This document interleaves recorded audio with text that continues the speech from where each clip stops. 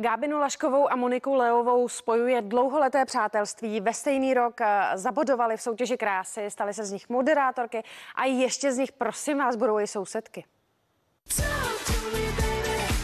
Kamarádky opět pohromadě. Gabriela Lašková a Monika Leová počase společně pózovali před fotoaparátem. Pro Moniku to bylo jedno z posledních profi focení před porodem, pro Gábinu naopak první po porodu.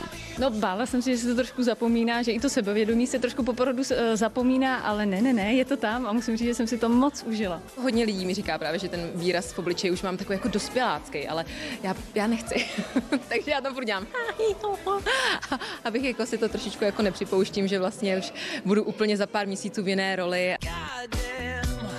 Holky teď kromě dětí řeší i další životní změnu. Obě opustí ruch velkoměsta a přesunou se na venkov. Monika Leová se vrátí do rodných východních Čech. Máme tam babičku, máme tam tátu, takže já si myslím, že to bude hrozně jako uh, jednoduchý v tom, že budu mít kolem sebe blízké, ale jako je to fakt vesnice, která má 150 obyvatel a já nevím, co tam budu dělat. Já jako chodím jenom prostě do lesa uh, a, a nic jako jiného a myslím si, že mě to město trošičku bude chybět. S narozením miminka jsme našli našli domeček, který by měl být ten pravý a vypadá to, že si budeme, když to dobře dopadne, tak tenhle rok, řekněme to trošku optimisticky stěhovat. Je to úplně maličká vesnice, budeme trošku dojíždět, ale daleko od Prahy to taky není. Doufám, že to bude taková ta zlatá střední cesta, ale je tam klid, je tam krásná příroda a doufám, že tam budeme šťastní.